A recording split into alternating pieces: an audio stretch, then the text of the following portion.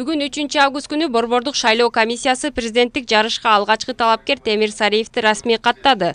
Бшкнын төрайымы нуржан шайылдабекова сариев бардык документтерди тапшырып мамлекеттик тил боюнча сынактан биринчилерден болуп өткөндүгүн ырастап күбөлүк тапшырды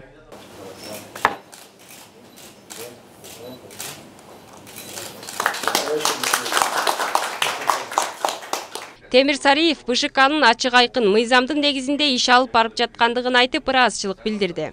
Борбордук шайлоо комиссиясынын мүчөсү менен байланышканга толук шарт түрдө берип атат.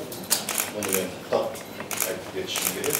Экинчиси ар бир жумушчу топ абдан дыкат объективдүү карап атасыздар мен ушундай эле ишти ушул шайлоонун аягына чейин жыйынтык чыгарганга чейин сиздерге алып барат деп терең ишенем сіздердің қолыңыздарда сіздердің шешіміңіздерде мемлекеттің негізгі бағыты мына шайлаудың ашықтығы айқындығы тарттығы мына мизамның толық сақталуысы өз қаранды шенем күн аяғына шейін эске салсак президенттик шайлоого катышуу үчүн элүү тогуз талапкер арыз берген. Кийин алардын арасынан экөө талапкерлигин көрсөтүүдөн баш тарткан. Мыйзамга ылайык ар бир талапкер каттоодон өтүү үчүн кыргыз тилинен экзамен тапшырып отуз миңден кем эмес кишиден кол тамгасын тапшыруу менен бир миллион сом күрөө коюусу керек. Президенттик шайлоо он бешинчи октябрга белгиленди